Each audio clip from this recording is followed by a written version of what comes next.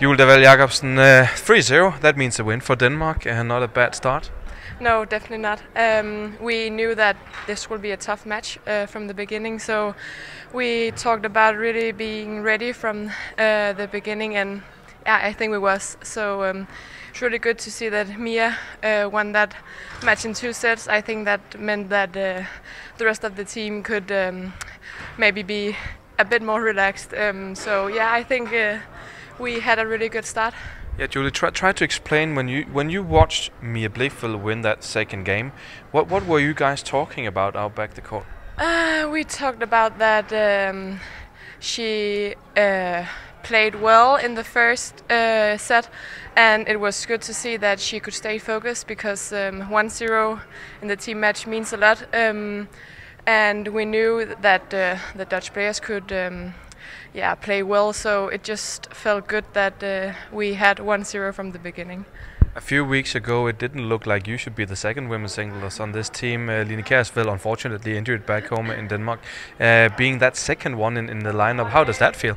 Um, that feels good. Um, I feel bad for Line, but uh, yeah, it's nice to have the chance to play the second singles, um, and maybe me uh, um, play some better players.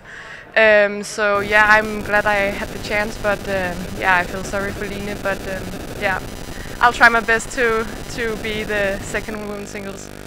Speaking to everybody but Danes, they all say Denmark is the one to beat. Denmark, we will fight them to beat them. They, they will win the gold medals.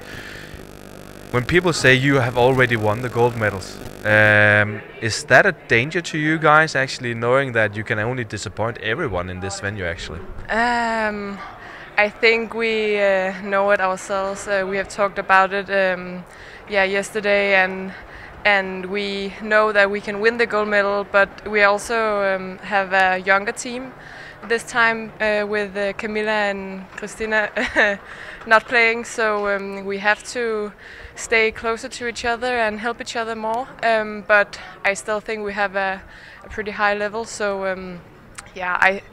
I think we know we uh, we are the favorites in this tournament, but um, yeah, we can only uh, disappoint. But that's the game, and that's how to be a Dane.